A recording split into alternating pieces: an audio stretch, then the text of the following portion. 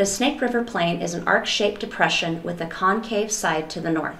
Covering almost a quarter of the state of Idaho, the Snake River Plain stretches about 400 miles from the Idaho Oregon border eastward to the northwest corner of Wyoming. The width of the plain ranges from 50 to 125 miles wide. The origin of the Snake River Plain occurred during the mid to late Miocene period, about 16 million years ago, when massive volcanism started as the Yellowstone hotspot began to develop. Over time, the North American plate moved westward over the Yellowstone hotspot, cutting a swath from the Oregon Idaho border across southern Idaho and into Yellowstone National Park. As a result of the North American continent's trip over the hotspot, an adjacent zone developed as the Earth's crust was pulled apart and thus forming a large topographic depression. This depression became the western Snake River Plain and contained Lake Idaho, a large lake covering the current area between Twin Falls and Hells Canyon. The deposition of sediments during the existence of Lake Idaho and the cutting of the canyons as a result of the breaching of the lake's lava dam 2 million years ago were two major events that influenced the evolution of the Snake River Plain. The western Snake River Plain is 30 to 43 miles wide. It is a fault bounded basin with the land surface and the rock layers dipping towards the axis of the plain. Idavada rhyolitic tuffs and ash flows, 15 to 11 million years old, were discharged from now buried calderas. As a result, the plain is filled by interbedded volcanic rocks and lake bed sediments of tertiary and quaternary age. There is high gravity all over the plain.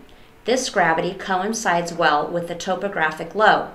The gravity high anomaly over the western plain is interpreted as indicating a thin upper crust.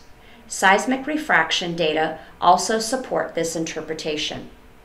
About 42,000 years ago in the Snake River Plain, a 40 mile long lake known as American Falls Lake formed as a result of a lava dam blocking the Snake River at Eagle Rock near present day Idaho Falls. This lake survived for nearly 30,000 years until Utah's Lake Bonneville catastrophically spilled over the Portneuf River and into the Snake River in an event referred to as the Bonneville Flood. As a result of the flood, American Falls Lake's lava dam breached and quickly eroded away into present day 55 foot high American Falls. The floodwaters of Lake Bonneville, at approximately 5,300,000 cubic feet per second, swept down the Snake River, leaving debris and sediment deposits across southern Idaho. For miles on either side of Snake River, floodwaters stripped away soils and scoured the underlying basalt bedrock. These actions resulted in the creation of Shoshone Falls, Twin Falls, Crane Falls, and Swan Falls, all while cutting and deepening the gorges and canyons all along the way. The Bonneville flood waters continued to the west through Hells Canyon. This flood is responsible for widening Hells Canyon. However, it did not deepen it. The eastern Snake River Plain trends northeasterly and is mostly silicic, basaltic, volcanic, with very little sediments. The plain rises at the extreme east, probably due to the current location of the Yellowstone hotspot. The eastern plain is generally covered by quaternary basalt flows. In the eastern Snake River Plain, the gravity anomaly of the western Snake River Plain exists here as well. The Idavada silicic volcanics are similar but are younger, ranging in age from 6.2 million years old to 10 million years old. At the northeast end of the plain, the last major eruption of the silicic volcanics is represented by the Yellowstone tuffs dated at 0.6 to 2 million years old. The Yellowstone tuffs are associated with caldera collapse and rhyolite flows erupted as recently as 700,000 years ago. Large rhyolite domes, 0.3 to 1.5 million years old, rise above the basalt near the axis of the plain. Abundant sediment is also found at the margins of the plain. Gravity and topographic evidence indicate a normal fault at the northwest boundary of the plain. The topography of the Snake River Plain changes resulting from the passage of North America over the hotspot. The land rose due to thermal uplift. As the hotspot migrated to the northeast, the highlands subsided due to cooling of the underlying crust and crustal loading from the eruption of post-hotspot basalts. The location of the continental divide locally corresponds to the migration of the hotspot. The topographic high produced by the hotspot produced radial drainage systems that flowed away from the volcanic center. When the Snake River Plain started, volcanism began. The Continental Divide was located west of its current position, and local streams drained toward the Atlantic Ocean. Therefore, the sediments were transported away from the location of the volcanic high. As the Continental Divide moved eastward across southern Idaho, rivers that are south of the Snake River Plain began to flow south and east. Subsidence in the wake of the hotspot migration caused a drop in the base level of the Snake River Plain, which initiated headward erosion toward the modern Snake River Plain channel.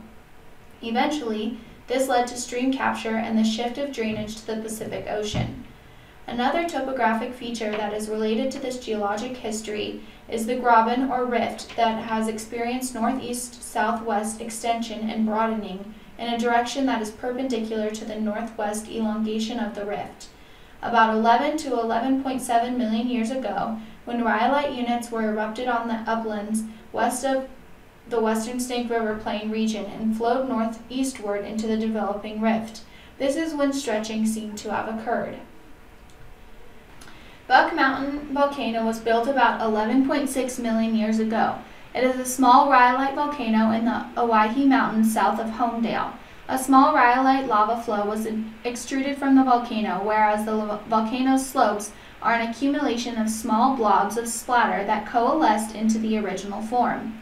When only small volumes of rhyolitic magma are erupted, small volcanoes such as Buck Mountain are built, whereas large volumes of rhyolitic magma typically erupt along which the surface subsides to form calderas. When a basalt flow runs into a lake or river, it commonly breaks up into small blobs of lava. These blobs are called pillows.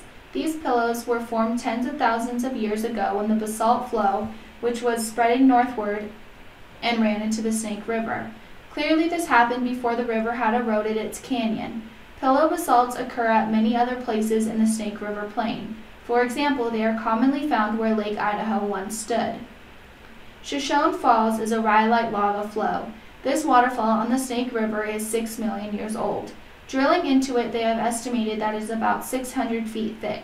This waterfall will be sustained for a long time because rhyolite is very hard and resistant to erosion. Shoshone Falls likely was developed into its present form during the Bonneville flood about 17,500 years ago and has not changed much since then. During the Bonneville flood, large volumes of water poured into the Snake River Canyon in the area upstream from the city of Twin Falls. Dierkes Lake is an example where you can see little plunge pools that were excavated in the basalt by water falling over the canyon rim and tearing out blocks of basalt in the process. Typically, at locations far from shore, out in the middle of large lakes, silt and clay as well as volcanic ash that falls from the sky are deposited. Such is the case for the sediments of South Oreana.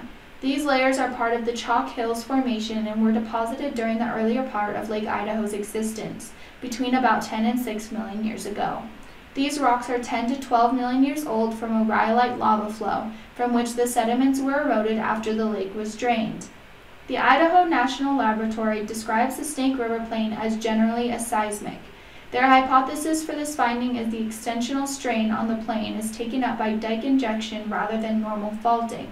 These basalts are poor transmitters of seismic energy and instead act as a sponge to any ground motion. Due to their deep canyon walls, another potential hazard is landslides. Additionally, at the most northeast point of the Snake River Plain region sits the current location of the Yellowstone volcanic hotspot. Although this geological feature isn't technically included in the Snake River Plain, if it erupts, it has the potential for major devastation. As a major water source, the Snake River Plain supports a high level of agricultural development and houses the majority of Idaho's population. The Snake River and the many alluvial valleys contained within the plain provide water for 3 million acres of farmland. Livestock grazing is also extensive throughout this area. As a result from being formed from successive volcanic eruptions of the Yellowstone hotspot as it moved northward, the basaltic plain still retains a large amount of surface level heat flow. This allows Idaho to be one of the five states in the United States that currently have functional geothermal electricity generation.